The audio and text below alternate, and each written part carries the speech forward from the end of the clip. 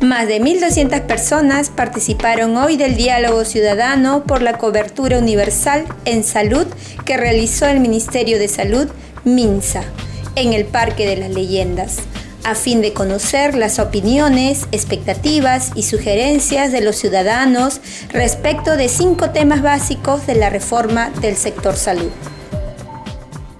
Nos hemos entrevistado con 1.200 personas que, a las que les hemos pedido su opinión sobre diferentes aspectos de la reforma que estamos implementando.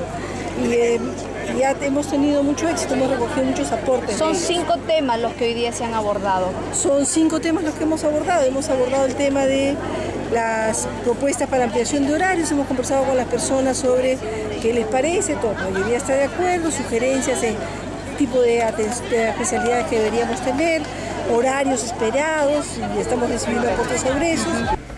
Este mecanismo de participación ciudadana fue desarrollado por la Dirección General de Promoción de la Salud y la Oficina de Descentralización del MINSA en 15 mesas de trabajo, las cuales contó con la participación de funcionarios que cumplieron las labores de facilitador, secretario, impulsador, personal de apoyo, que resolvían las consultas del público asistente.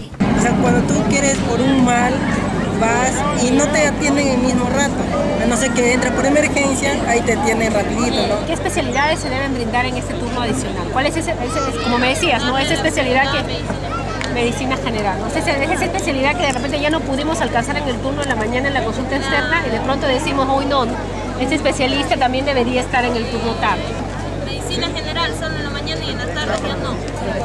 Que traten de atender más niños porque uno va a estar con los bebés, madruga con ellos y a que te digan no, se acabó. solo se acabaron los cupos, ya es algo ilógico. ¿No? Ginecología, pediatría, medicina y todos los servicios adicionales que son lo básico que no, no encontramos en los centros de salud. ¿no? Solamente encontramos medicina, pero no, no algunos ni psicología hay. Uno de los temas abordados fue el doble turno para la atención en salud que se iniciará en marzo con algunos hospitales y que se extenderá gradualmente en Lima como provincias. Otro de los temas fue la participación del sector privado, que se integrará a la atención de salud a través de la concesión y subcontratación de servicios. Y hay una integración entre la entidad pública y la privada.